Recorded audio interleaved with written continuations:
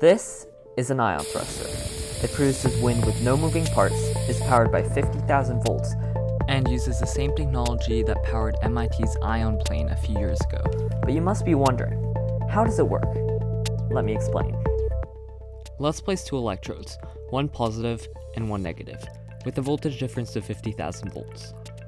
Let's also add a neutral air molecule, shown in blue. This molecule gets pushed towards the positive electrode by neutral air currents.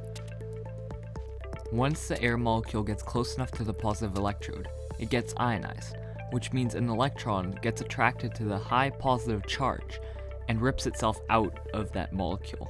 The air molecule is now positive, and since opposite charges attract, it moves towards the negative electrode. The sea of positive ions is called plasma and can be observed as a purple glow flowing from the positive to negative electrode.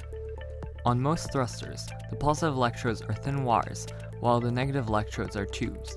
This promotes ionization at the positive electrodes and discourages it at the negative ones.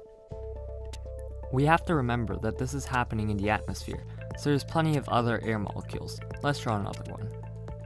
The positive ions eventually collide with neutral air molecules, pushing them past the negative electrode. In the air around us, there are more than just two air molecules. Let's draw a few more.